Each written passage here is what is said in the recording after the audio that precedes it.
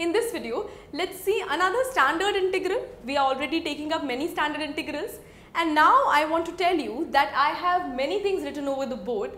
But first, let's move to this section of the board which has these three standard integrals. And I mean to say that if in any case we have these three standard integrals, then we will apply the methodology. That methodology will be understood in this question.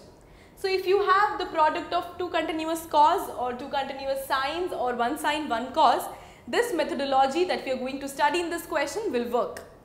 And if you have to integrate, you will have to first remember all the formulas that you know of the previous chapters in trigonometry, previous classes that you studied. So the sine formulas, the cos formulas must be known to you.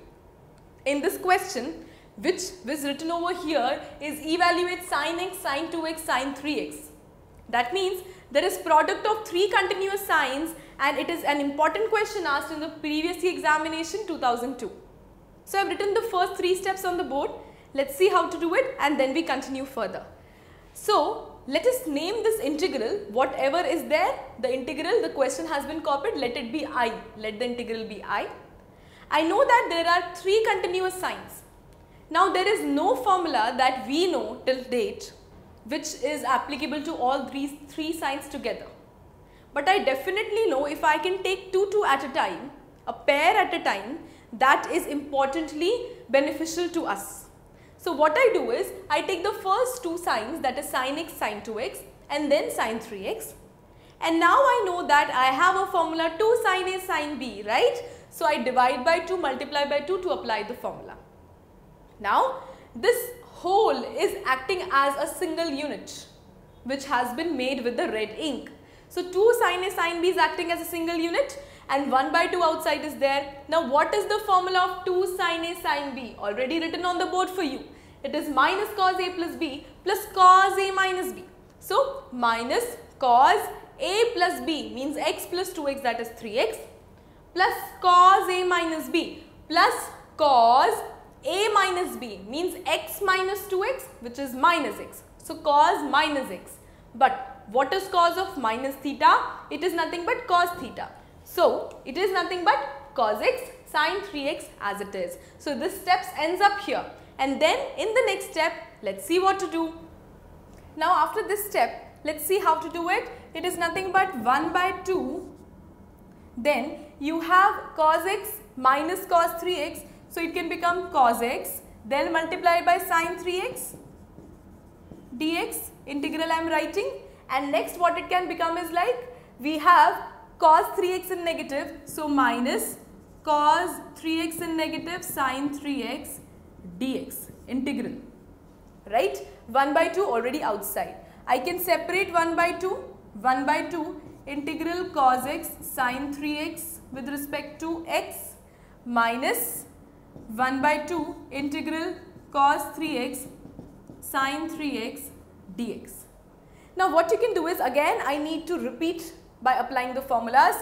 Divide by 2 multiply by 2 here also divide by 2 multiply by 2. What will happen? It will be 1 by 4 over here in the denominator. Then 2 sine A cos B 2 sine A cos B formula I have to apply. It is nothing but sine A plus B if I consider this as A, this as B plus sine A minus B.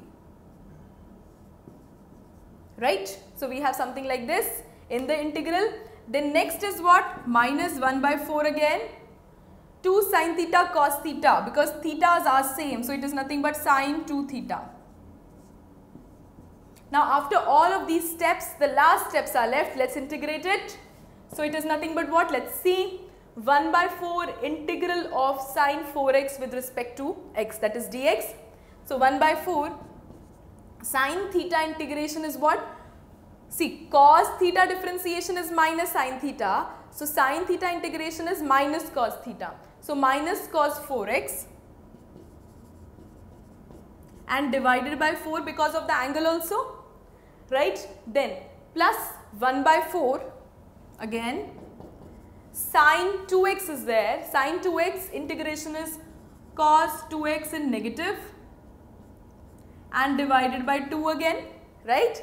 Last but not the least, minus 1 by 4. So, minus 1 by 4. Sine 6x integration is minus cos 6x divided by 6. So, now let's have certain things in clear in our mind.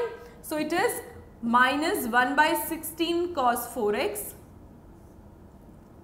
then minus cos 2x by 8 last but not the least plus cos 6x by 24 plus c and that is my answer to this question which is very important. Please keep it in mind the same methodology that we applied in this question will be applied to all these three types of integrals as well.